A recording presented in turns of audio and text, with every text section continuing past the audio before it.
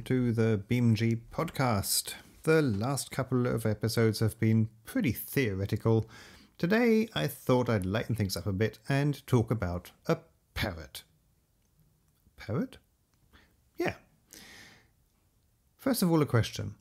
How aware are you of the creative process while you're writing? Do you really consciously control what comes out of your fingers and onto the page? Even when writing happens naturally, while the words are pouring forth, the author is probably already performing a first level check that precedes the more detached and critical control of rewriting.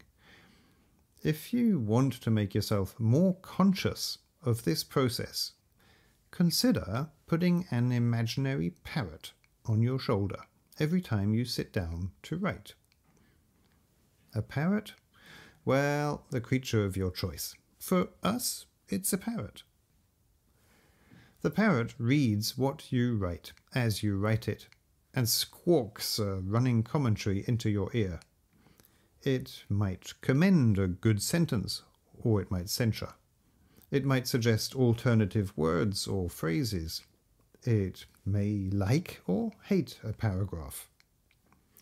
The parrot has three main hobby horses relevance, surprise, and recognition. Relevance. The parrot wants you to write only what matters in the story. It will moan at any extraneous information or sentences, indeed, even at words that do not have a function. Furthermore, it may whisper questions into your shell like, such as Is this aspect of the story pertinent and understandable for somebody from another culture? Would this text have a bearing on the interests of a reader from another time? If you don't try to make your story universally relevant, the parrot might exhort, why bother writing it at all? Surprise. The audience likes to be surprised, according to the parrot. Is what the character is doing right now interesting? Or is this action predictable? If so, the reader may get bored. Is this simile or comparison fresh and new, or is it stale and a cliche? And overall, does your story defy pre interpretation?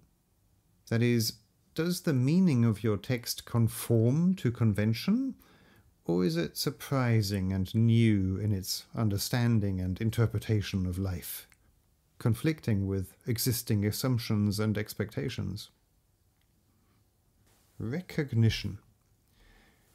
The reader's recognition of what the book says is the proof of its truth. So said Marcel Proust. Many stories are successful because they show what life is like. Marcel Proust held up a mirror to his readers, and the worlds uh, Gustave Flaubert created were recognizable to his audience entire subgenres, such as chick lit, work by depicting versions, perhaps idealized, of the readers in settings the readers can relate to.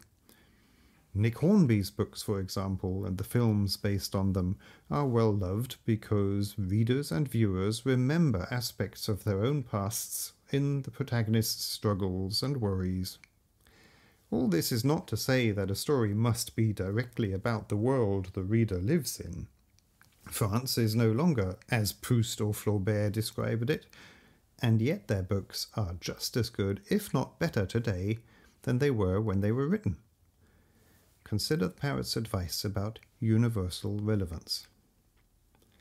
The truth a work conveys may be indirect, be it in Flaubert's Salammbô or the books of Vladimir Nabokov, or a science fiction story, the point is not the direct representation of the story content. The point is that within the story, the reader on some level recognizes a truth about life. That's it for today. Thanks for listening.